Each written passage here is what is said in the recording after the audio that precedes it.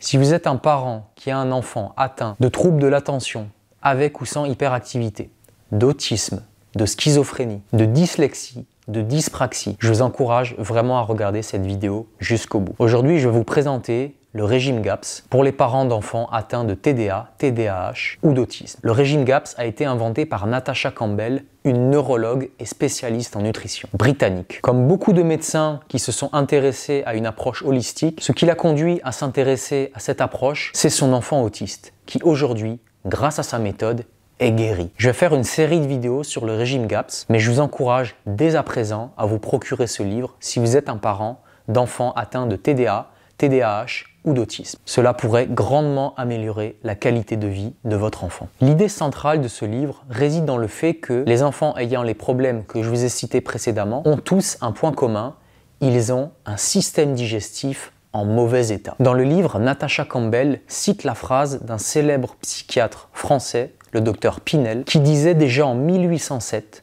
le siège de la folie se trouve communément au niveau de l'estomac et de l'intestin. Natasha Campbell, dans son livre, elle présente les choses comme ça. Que ce soit les troubles de l'attention et de l'hyperactivité, que ce soit la schizophrénie, que ce soit l'autisme, la dyspraxie, la dyslexie, l'asthme ou l'eczéma encore, toutes ces maladies ont une racine commune qui trouve sa source dans un déséquilibre des intestins et de la flore intestinale. Il y a donc une connexion entre ce qu'on appelle les intestins et le cerveau.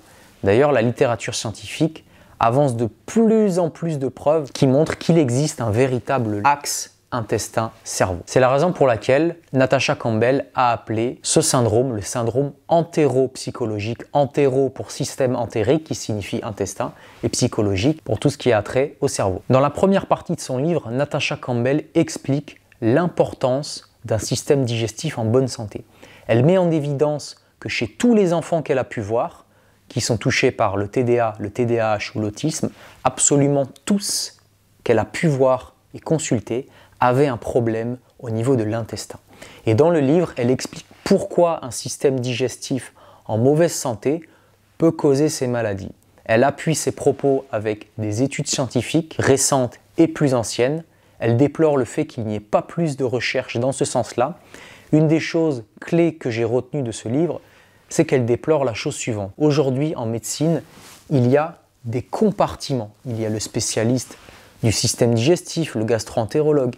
Il y a le spécialiste des maladies mentales, le psychiatre. Il y a le spécialiste de la peau, le dermatologue. Et en réalité, il y a des spécialités qui sont indépendantes les unes des autres. Alors que dans le cas du syndrome entéropsychologique, on voit bien que un problème au niveau d'un organe peut provoquer des problèmes sur un autre organe. Ici, le problème réside dans une perturbation du système digestif qui va avoir des effets sur le cerveau.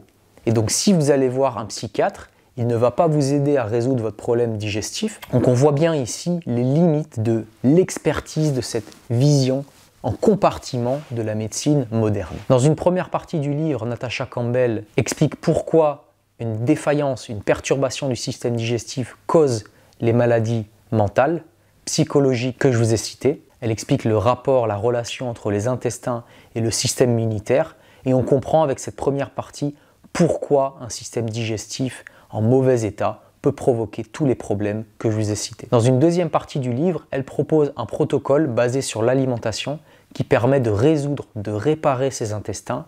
Et avec cette réparation des intestins, on a une amélioration significative de tous les symptômes voilà, du TDA, du TDAH, de l'autisme, etc. Je vais m'arrêter ici pour cette vidéo. Je vais en faire d'autres sur le sujet parce que c'est un livre vraiment très intéressant. Il est court, il est facile à lire, donc je vous encourage vraiment à vous le procurer. Si vous voulez plus d'informations par rapport à ce sujet, je vous invite à vous inscrire à ma newsletter. Ce sera le premier lien en description. Si vous voulez travailler avec moi, je vous invite à réserver un appel découverte qui est gratuit et sans engagement, qui sera le deuxième lien en description pour faire connaissance avec moi. Je vous remercie d'avoir suivi la vidéo et je vous dis à bientôt sur Vitali TV. Allez, ciao